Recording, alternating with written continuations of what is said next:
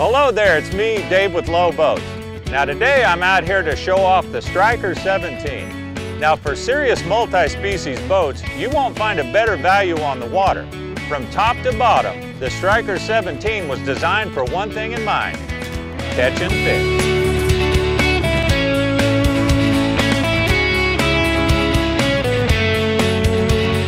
Right away, you'll notice the raised pedestal seats, one on the bow and the other on the stern.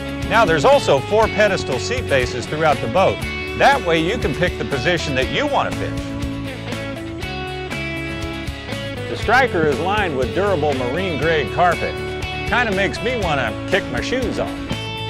Lowe understands the value of deck space out on the water.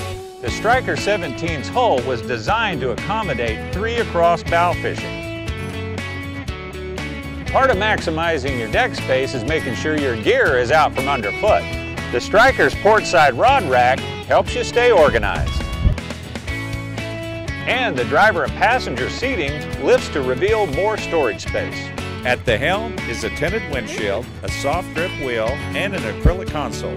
Now that'll make your ride in style. Plus, every Stryker 17 comes with a Lowrance X4 Pro fish finder. With more storage space behind the front pedestal seat and up on the bow, you'll have plenty of room to organize your tackle box and your gear. Once your line's in the water, the standard MotorGuide trolling motor gives you precision steering to go exactly where you want to be. There's no place for the fish to hide when the Stryker 17's on the water. Until next time, this is Dave for Lowe Boats, signing off.